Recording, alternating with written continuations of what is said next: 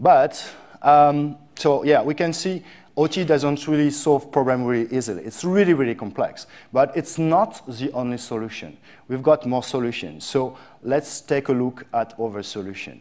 And we will start with different patch, which seems really nice idea. Even in the end, it's not actually so great. So it comes from Neil Fraser, uh, from, uh, with a Google engineer.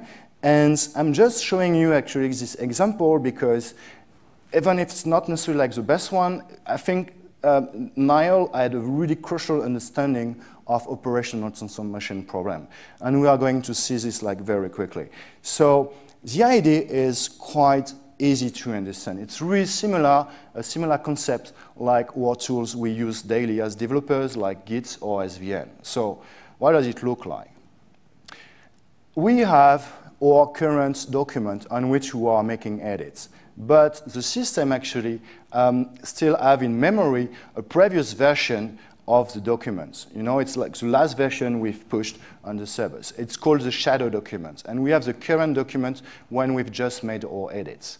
Then, using a diff tool, we are going to make the difference between those two edits to make a patch out of it.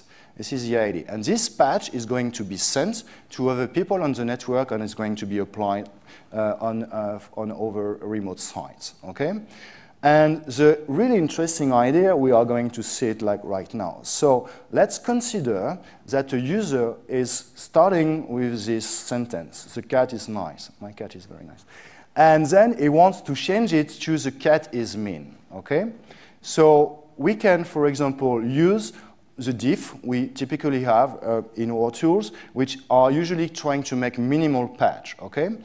So here, if we look uh, at it, what is it going to do? It's going to remove NIC because it detected that actually those readers are not here anymore. Then it's going to keep the E, and then it's going to add AIM-AN, okay? But somehow it's hard to understand, like for humans, when we see that, we need to think a little bit to see, oh yes, that's right, this is the way it is. So this is for a minimal patch. But already, if you take a word patch, or a semantic patch, here it's a word patch, then in this case, you can see that we transform nice to mean, and we keep the user intention. The user intention was to change the word nice to mean. And here, this is preserved, okay? And this is where it's really good, this kind of approach and the crucial understanding about it, is that in our first example with operational transformation, we had this thing where we say insert y uh, at before position 2, but we lose the concept of between B and C, and this is really important. So the problem with operational transformation is that it's index-based, and here with a patch, it's context-based. It keeps this information between B and C. So it really captures user intention. Okay?